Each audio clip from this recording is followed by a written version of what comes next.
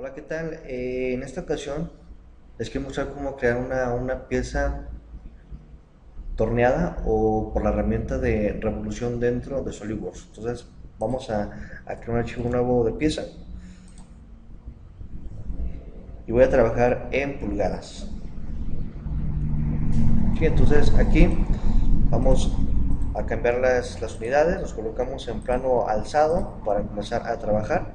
Ok, pista isométrica así va a quedarme el, acomodo de, del componente entonces seguimos aquí trabajando. Eh, voy a crear una línea constructiva completamente horizontal y ahora hacemos únicamente la mitad del perfil algo parecido a esto.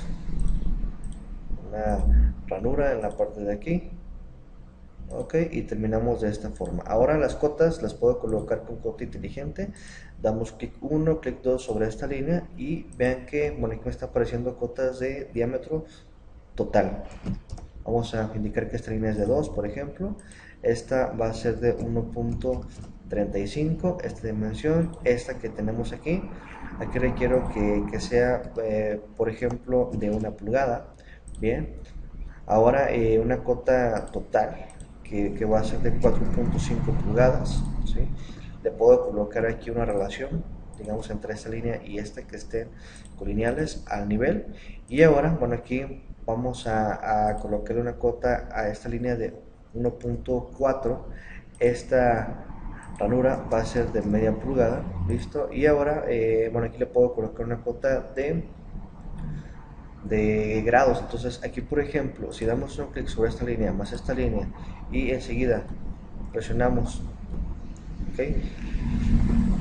la tecla Shift, Shift vean que, eh, bueno, aquí le puedo colocar yo una cota total, que va a ser, por ejemplo, de 100 grados. Bien, únicamente aquí le colocamos una cota a para que me quede completamente definido y dentro de las operaciones de croquis eh, bueno aquí tengo lo que es un redondeo de croquis o, también chaflán le puedo aquí colocar un chaflán que sea de, de, punto 39 ok o, o se puede cambiar aquí lo colocamos deshacer ese valor para, que, para indicar un valor que sea, por ejemplo, de un cuarto. Y simplemente con, con tocar el punto, vean que me está apareciendo ese, ese valor. Hacemos una operación de revolución y ya, bueno, aquí tenemos creada la operación de revolución. ¿sí? Bien, la siguiente parte de este video va a ser eh, mostrarles cómo crear el torneado de esta pieza con la herramienta llamada CamWorks. ¿sí? Gracias por su atención. Hasta luego.